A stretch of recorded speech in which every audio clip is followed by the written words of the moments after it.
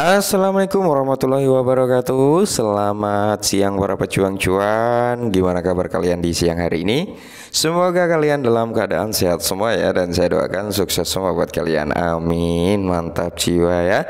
Dan tentunya buat teman-teman semua ya Buat rekan-rekan semua tetap semangat Dan selalu kurangi sambat. Eh, Sediakan dulu secangkir kopinya teman-teman ya Untuk menemani kesempatan di siang hari ini Untuk melihat rekondisi daripada keadaan cryptocurrency Yang di mana karena kalau kita lihat bersama-sama untuk keadaannya uh, masih cukup bagus ya teman-teman untuk uh, altcoin teman.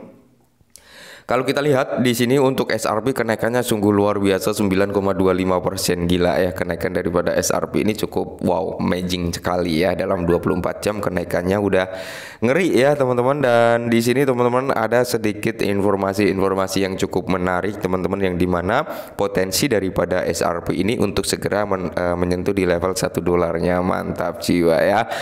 Oke kita bahas satu persatu langsung saja. Informasi yang pertama datang dari Anthony Wolford, teman-teman di mana kalau kita lihat bersama-sama ya di mana satu langkah maju untuk Ripple, XRP Ledger dan ekosistem kripto. Nah, sejak di uh, di FSA membuka aplikasi eksternal XRP adalah aset virtual pertama kali yang disetujui oleh rezim tersebut. XRP bergabung dengan Bitcoin, Ethereum dan Litecoin sebagai aset yang sebelumnya disetujui di bawah rezim aset virtual di FSA. Nah, XRP kini mendapat manfaat manfaat dari hukum dan peraturan kejelasan dalam DIFC. Nah, di DI apa DIFC untuk mempercepat pertukaran nilai global yang lebih cepat dan efisiensi waktu. Mantap jiwa ya. Ini pun langsung di-up oleh Ripple uh, sendiri teman-teman Jos. Nah, jadi di sini teman-teman menurut uh, Central Bank Payment News ya bahwasanya Ripple adalah mitra teknologi resmi untuk percontohan digital GEL CBDC Bank Nasional Georgi.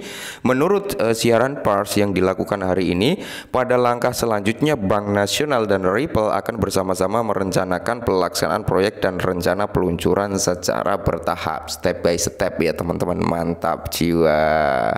Nah, dan tak kalah menarik teman-teman dari CEO Ripple dan ketua SEC terhadap uh, sebagai apa terdaftar sebagai pembicara utama untuk DC FinTech Week mendatang. Mantap jiwa ya. Jadi eh, SEO daripada Ripple dan ketua SEC ini akan bertemu nih di acara ya uh, pembicara utama di DC FinTech Week yang akan datang ini. Wah, kayaknya akan semakin rame ya ini ya. Mantap. Nah, anggota komunitas kripto menghargai mengharapkan DC Fintech Week yang menarik karena CEO Ripple, Brand House dan ketua SEC Gary Gensrod terdaftar sebagai pembicara utama.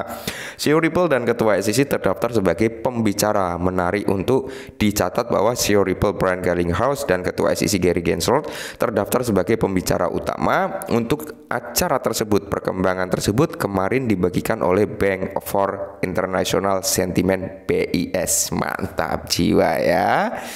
Dan yang tak kalah menariknya teman-teman yaitu pengacara SRP menguraikan skenario kemenangan 99,9% dalam gugatan Ripple SEC. Oke ya. Jadi presentasi kemenangan daripada uh, Ripple atau SRP ini dalam gugatan SEC teman-teman ini mendapatkan momentum 99,9%. Ini untuk kemenangan daripada Ripple. Berarti 0,1 persennya itu dimiliki oleh SEC. Nah, notabene kalau kita melihat dari presentasi pastinya otomatis uh, Ripple lah yang akan menjadi pemenangnya gitu ya. Nah, pendiri Crypto Launch John Drayton merinci skenario yang mungkin menghasilkan 99,9% kemenangan bagi Ripple dalam gugatan SEC. Oke. Okay. Jadi di sini kalau kita lihat bersama-sama teman-teman ya, pengacara pemegang SRP dan pendiri Crypto Law John Deton telah menguraikan skenario yang akan menghasilkan kemenangan 99,9% bagi Ripple dalam gugatan SEC. Dalam tweetnya Deton berpendapat bahwa klaim eh, SEC mendapat kemenangan 50 banding 50 dalam kasus Ripple adalah salah. Dia melanjutkan dengan mengatakan bahwa hasilnya lebih seperti 90 uh, sampai 10% yang menguntungkan Ripple yang berarti 99,9% kemenangan hukum jika Ripple membayar 20 juta atau kurang sebagai denda gitu teman-teman ya. Nah, Ripple ini akan mendapatkan kemenangan yang cukup luar biasa ketika Ripple ini membayar sebesar 20 juta sebagai dendanya yang tadinya kan SEC itu meminta sekitar 770 juta US dollar kalau nggak salah ya teman-teman setelah uh, statement itu keluar. Tim Ripple ini kan berdiskusi nih di balik layar ya kan di balik layar antara SEC dan Ripple berdiskusi untuk mencari jalan tengahnya.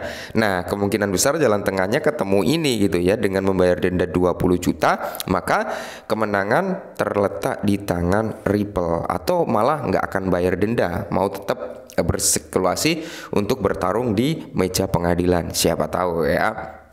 Deton mengatakan hal ini sebagai tanggapan terhadap tweet penasihat umum Ripple Surat Alderoti yang menyoroti kekalahan SEC dalam kasus GoFil di mana sirkuit kedua memutuskan bahwa SEC tidak dapat melakukan pencairan yang melumpuhkan tanpa terlebih dahulu menetapkan bahwa investor benar-benar menderita kerugian finansial. Nah, jadi di sini teman-teman SEC ini tidak akan bisa menuntut Ripple ketika ya ketika uh, para investor daripada uh, Ripple itu sendiri tidak merasa dirugikan dengan finansial. Maka dari itu gugatan SEC nggak akan ada gunanya ya seperti itu. Nah, pengacara hukum dan penggemar SRP Jerry uh, Jeremy Hoge juga menunjukkan pentingnya argumen ini karena gugatan Ripple SEC saat ini berada dalam tahap uh, kerusakan. Nah, Hogan menyiratkan bahwa ini berarti pemegang SRP harus menderita kerugian agar Ripple dapat bertanggung jawab.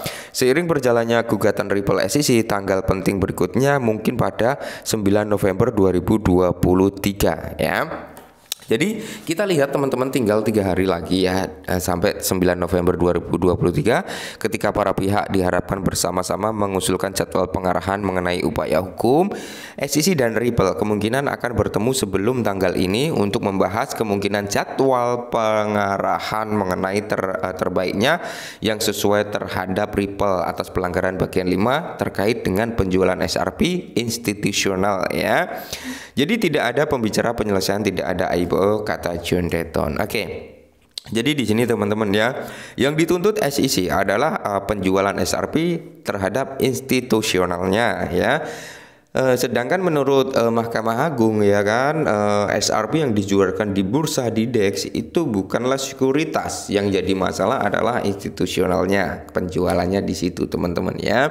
Dalam tweet terpisah Dayton men, uh, meredam uh, dua opini yang tak tidak populer ya. Pertama tidak dapat e, pembicaraan penyelesaian saat ini atau yang sedang berlangsung antara Ripple dan SEC dan kedua Ripple tidak memiliki rencana untuk melakukan IPO sebelum Juni 2024 perlu diingat bahwa pada tanggal 23 Oktober sebuah perintah ditandatangani secara resmi oleh Hakim Torres yang menolak kasus terhadap eksekutif Ripple brand House dan Chris Lars nah Semoga saja teman-teman ya. Semoga saja sebelum tang uh, tanggal 9 November nanti udah ada titik terangnya, penjadwalannya, pembicaraannya, pertemuannya gitu teman-teman ya. Semoga saja yang terbaik lah untuk Ripple teman-teman dan ketika hal ini memang sudah benar-benar real, nggak ada drama tersanjung lagi, tidak menutup kemungkinan teman-teman ya. SRP bakal melambung tinggi harganya. Saya yakin itu. Oke, mungkin ini sedikit informasi semoga membantu dan salam cuan.